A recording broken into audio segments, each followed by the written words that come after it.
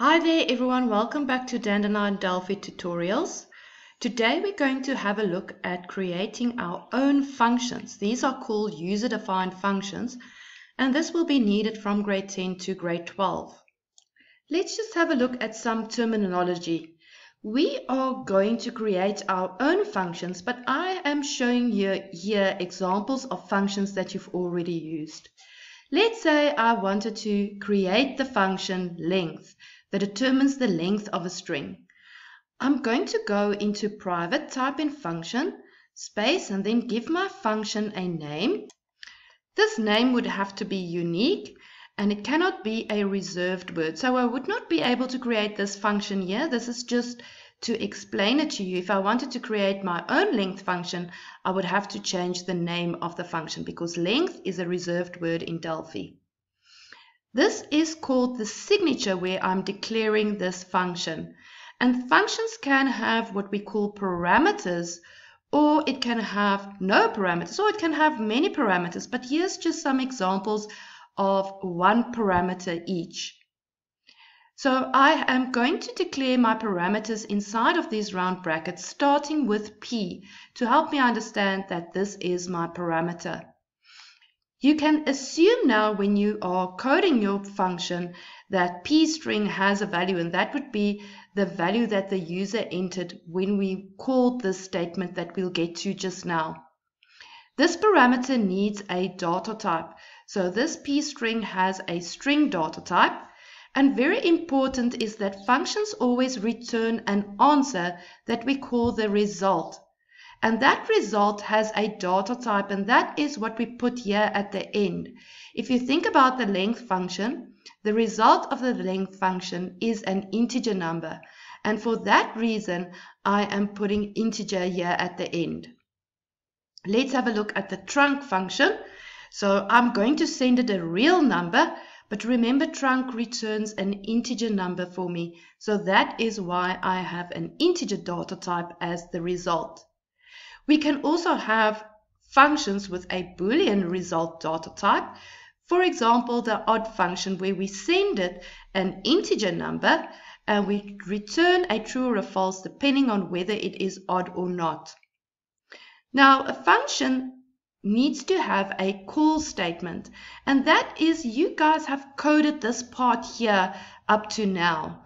So this is not going to change. I am still going to have a call statement where the result of that function is stored in some variable. This here, for example, the length is just going to be now your own function that you have created. So if we have a look at the call statement of an, the length function, we sent it an argument and this argument had to be string and the input for the user had to be done above this statement. So we would have s input assigned to the edit box or maybe an input box. And then we use that variable in the call statement of the length function sending the input of the user that it was stored in s input to the parameter of the function p string so when this function runs, pstring will have the same value as what the user entered in my call statement.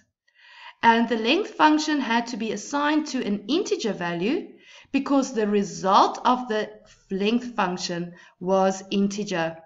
It's very important that your call statements always form part of another statement.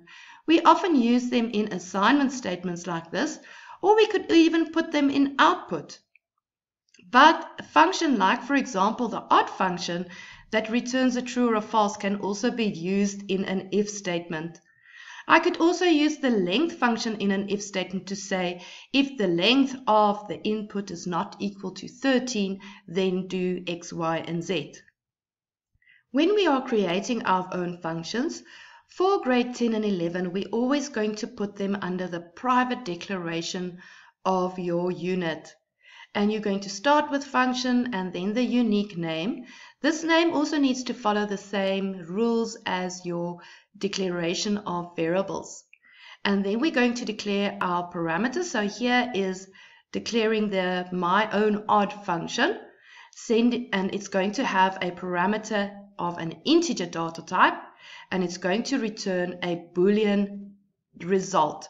Remember to add the semicolon at the end, else the next step won't work. Once you have done that declaration, you are going to push Control Shift C. They are all going to be pushed together. So start with Control, then Shift, and then C. And if your declaration was correct, the skeleton code will open up. That is similar to when you are double clicking on a button that would also be the skeleton code of that button. So you will have the function heading and a begin and an end, and you are going to complete the bit in between. We're going to code as usual inside of our function, but very important is your function is not going to make use of any objects on your form. So you're not going to see an input box or an edit box or a rich edit or a label inside of my function. The way that it will get values is through its parameters when this statement is called. So pnum will now have a value, let's say it was 10, and if 10 mod 2 is equal to 1, then my result is going to be true. That means it is a odd number. But if 10 mod 2 does not equal to 1, then my result will be false. Very important that your function has a result. You will see that result has not been declared, but you will be able to use it. The result has to match the data type of my function. So in this example, the function's result is Boolean. Therefore, I have to assign a Boolean value to the result. So either true or false. The result is the answer that your function will return when you call this function. If I run my program now, it will sort out some syntax errors but if my function, my own odd, has not been called yet, therefore I will not see any output regarding this function. So the next step is to call this function in your button where you need to use it. And here is an example of calling this function. This would typically be in a menu or in a button, and I have a local variable here stored as an integer or declared as an integer. Then I get input from my edit box for the number that the person entered. And now I'm going to call my function called my own odd. Remember now my own odd had a parameter of integer data type. So now when you're calling your my own odd function, you have to send it an integer argument as we did before when we called built-in functions. And my own odd is going to either return a true or a false. So if I say if my own odd sending it i num as an argument is equal to true, then I can display in my caption odd. If this mine own odd function returns a false, in my label I'm going to store or display even. I am now able to use my own odd everywhere in my program, wherever I need to find whether a number is odd or even. And I've written only one set of code that can be used multiple times, and that is one of the advantages of a function. If you are using my book in class, there are three activities that you can use to practice functions with. I am now going to show you guys the maths activity. If you haven't done so already, go and download the grade 10 data files from this link. Open the program maths and then try to complete this function. We always start by creating our functions because we can't call the function until it has been created. The words receive, or receives in this case, indicates the parameters that your function should have. So if you have a look at this question, you will see that it needs two integer parameters. The word return or result indicates the data type or the answer of what this function is returning. And here you can see it is returning a message whether it was correct or incorrect. So this function will need a string data type.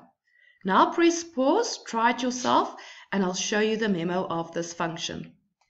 Here is the signature of my check answer function. As the question said, I need two parameters. One is the user's answers and the other one is the correct answers, both as integer values. And the return data type of this is going to be string, since it's returning correct or incorrect. And you have a semicolon there at the end. Then push Control Shift C and it will open up for you the skeleton code. Inside of my function, I will now have an if statement to test if the answer by the user, which is p user, is the same as the correct answer. You will see that these are my two parameters that I have received, and you may assume when you are coding your function that they will have values. They will only get values once you have the call statement, but for now assume that they will have values. And if the answer was correct, my return result would be correct, well done. Result would be a string because this function has a string return data type. I will also be counting the number of correct answers. iCorrect is a global variable and since I'm using it in inc, I will have to still initialize it in form on activate that I'll show you just now. If the answer was not correct, I'm going to return the labeling, the correct answer is, and I'm going to put P answer, which is the correct answer, in my result. Here at the bottom, you will see iCorrect was initialized to zero in form on activate, and it was also declared as a global variable at the top of my program. I'd now like you to try the button ask and do the following. The first bullet here indicates that we have to do some validation. Then you have to pick a random number from 1 to 12, storing them as i big and i small. But you want to swap the contents of this, these variables to ensure that the biggest value is stored in i big and the smaller one is in i small. If the user selected a divide, I want you to change i big to be i big times by i small. This is just to ensure that we always have integer answers. And where it says make use of a dialog box, that really means make use of an input box and use I big and I small inside of the input box so that they can see what the question is. I want you to always use I big first and then the smaller one second. Do this part, press pause. I'm going to show you the rest of the question just now. You are asked here to count the number of questions that have been asked so far and then call your function check answer to display the result of that function in your label. The first part of the question asked us to do validation to check if the person selected something from the radio group RGP choose. So I will use an if statement to test if the item index is less than zero so the item index is actually equal to negative 1 if the person has not selected any option from this radio group. And then I'm going to display a message and I'm going to exit that procedure. Remember that begin and end. Then I have to store two random numbers, numbers from 1 to 12, and I'm using my random range 1, comma 13. Remember the second argument is excluded with our random function. We are then asked to ensure that the biggest number is stored in I big and the smaller number in I small. So if I big is smaller than I small, I need to swap the values of these variables. Now to swap values, you need to have a keeper. Imagine you had two glasses of water, one with red water and one with blue water, and you wanted to swap over the contents of those two waters or glasses of water. You would not be able to do it unless you have a third glass. And that is I keep. That's my third glass to keep the biggest value. Then replace the biggest value by the smaller one. And then give the smaller one the value that you kept, which was my original biggest value. Remember to put this in your begin and end because you only want to swap this around if the bigger value was stored in I small instead of in I big. Since the answer depends on the operator that the person tested from my radio group, the item index of my radio group will be a perfect place to make use of a case statement. If they clicked on the first option, that should be the correct answer is taking the biggest one plus the smallest one and storing it as IANS. For deducting the two numbers from each other, I am just going to deduct the two and they are multiplying the two with each other. The last option here is when we are dividing.